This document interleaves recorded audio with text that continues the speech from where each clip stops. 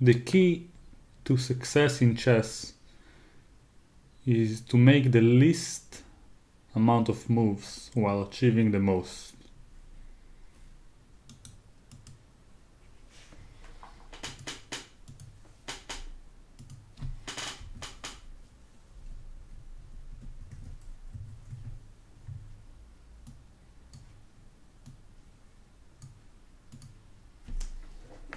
Sorry if you watched the first one. Just changed the date by a week. Hello everyone, welcome back. Tomorrow at this time I'm going to play a tournament on lichess.org with a very big YouTuber and a chess fan by the name of Hutch.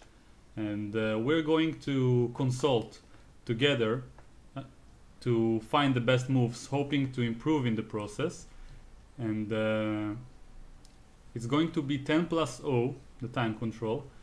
And everyone who is willing is welcome to join us. I'll leave the link to the private tournament down in the description. And uh, also a link to his uh, Twitch channel where he will uh, stream his angle at the same time.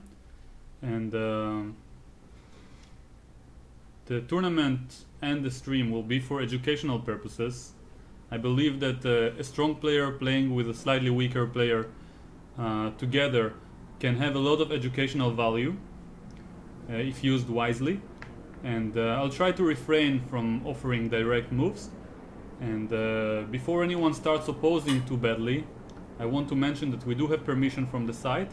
And all those who join are also welcome to consult a human friend who might be uh, higher rated than them if they find it uh, educational for them. And um, yeah, that's it. Let's hope uh, everyone will have fun and learn something from it. So, see you there.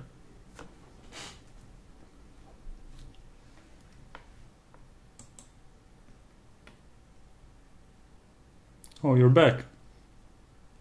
Yeah, I was analyzing the reverse King's Indian in the meantime. So you should join the tournament.